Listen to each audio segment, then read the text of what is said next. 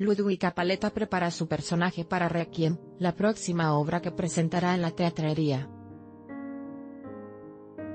Además de este papel y ser vocera de los Premios Metropolitanos de Teatro 2018, la actriz desarrolla un nuevo proyecto personal, una casa productora de teatro, aunque no será la primera vez que la intérprete produzca teatro pues la obra que protagonizó anteriormente, Los hijos también lloran, fue producida por ella y será la primera vez en solitario.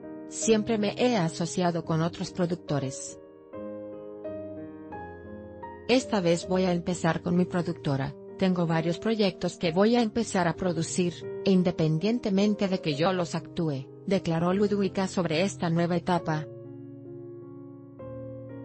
Hasta el momento, la actriz de No sé si cortarme las venas o dejármelas largas, 2013 tiene tres proyectos para su productora de teatro. Uno de ellos sería fuera de México, otro será actuado por ella y para el tercero están buscando elenco. Asimismo, comentó que estas obras de teatro aún no tienen foro específico, ni fecha de estreno. Ante la pregunta de si le gustaría dirigir la puesta en escena, Ludwika confesó. Lo haría, pero más adelante.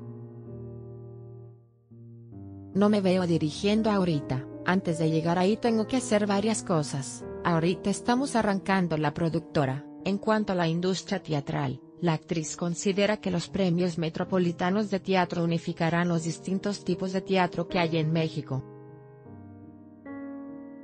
Hubieron muchos intentos de unificarlos y resulta un poco difícil, por eso pusieron varios estatutos y categorías para incluir todo teatro. Simplemente si quieres participar y ser nominado, contribuyes a esa causa y te inscribes, explicó Ludwika Paleta.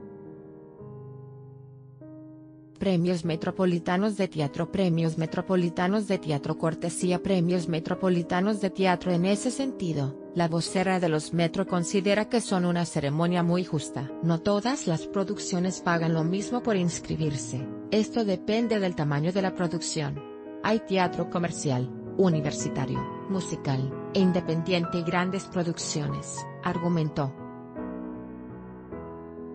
Asimismo, Paleta expuso que los metropolitanos serán los premios que le den la seriedad necesaria a los reconocimientos en teatro porque el jurado son personas que viven en México, que conocen el teatro y para estar en él tienes que cumplir ciertas características. Me parece que arrancan con el pie derecho. Más noticias en MSN la transformación de Ludwika Paleta.